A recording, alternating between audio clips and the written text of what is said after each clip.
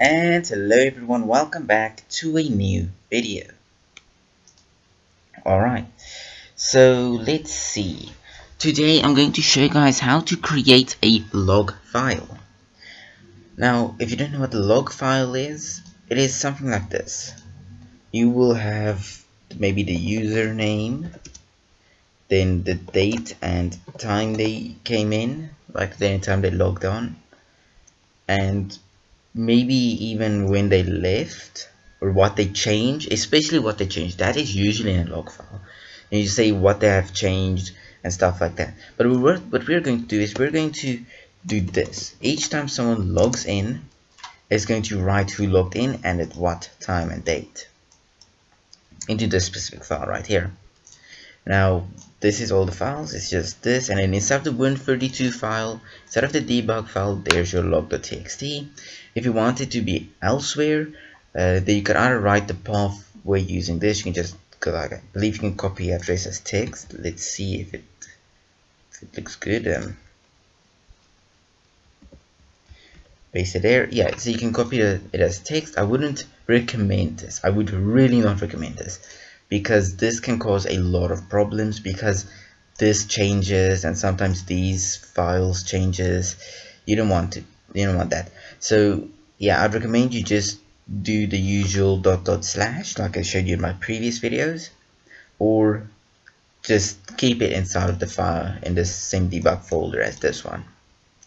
It's just easier anyways.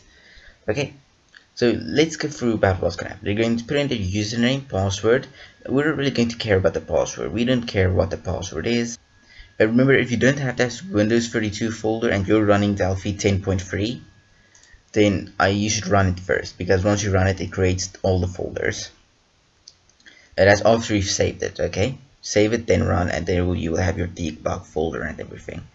Okay, so we're going to make it work completely. Let's do quick. I don't know why they didn't just use a bit button. So we're just going to go F4M.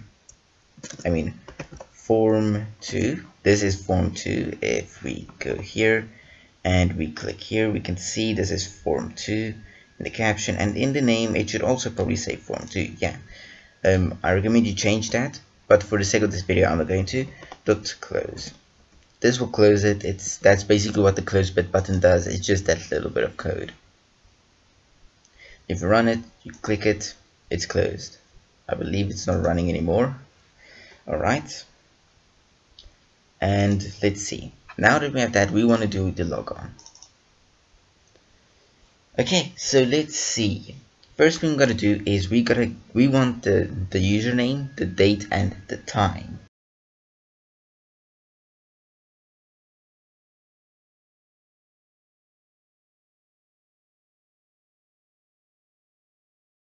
and then we need a t file or t log or anything you want but that should have a t for just so you know it's a text file. I like to go t file with my files. Text file. Okay so this is the basic variables we'll need. So then we can go s name becomes edt name.text we're going to actually create a login file. They don't need any passwords or anything like that. We're just going to capture what's in it and we're going to put it into a file. Is date we can make that become uh, I think it should be date to string and then date if I'm correct the, the book says that you'll basically never use to have this in an exam but you should know it just for in case you do. But I never got it so I don't really you know time to string and then just time. Uh, of course there can be parameters in there like saying what format should be year year year um, day day day and stuff like that. Whatever your format is, you can change that. But for now, we're just going to use the PC format. This is going to take this format of the PC and throw it in there. And in true working environment, you should put the format in there um, because PC formats here might change depending on the on the desktop and the user preference so you should make sure that that is all in one type so you should clarify but we are not going to clarify because this is not what we're focusing on we'll focus on that on a later date. Now what we want to do is we want to go assign file and then t file to log.txt here is log.txt that should be a g. So here's the log.txt let's go control d control s. Then rewrite and then this t file. I'll explain all of this right now. And then we want to create a new string now to think about it. So then we go s log. Now s log that will become is name plus we're going or, or the delimiter will be a space plus is date plus. Mm, but that's going to be a little bit of effort so a little bit too much effort. So we're going to use a hashtag as our delimiter not that we're going to use it right now but you know it's just good practice to have a good delimiter alright so this is going to be the log and then we're going to go write line and then we're going to say t file we should write into t file s log. So what they're saying oh, wait wait wait. And then we close file. T file. T file. Okay so what we are saying is put all of these in the variables. We all know what these do. Uh, except for these as against the date and time that's pretty obvious. Okay oh that's a state again. It's time. There we go. Okay then here in assign file. This assigns we already know that assigns t file to this file. And then rewrite. What this does is it erases everything from the file. And that just erases everything from the file. It also assigns the file um, or opens the file because it's not, not assigned it kind of opens it as well in some way if we're going to remove it you might get an error. And then you have write line t file is log. This is writes to t file what is whatever is in s log. Then close file that just close the file. Okay pretty easy. So let's test it out. Right now in this file there is nothing.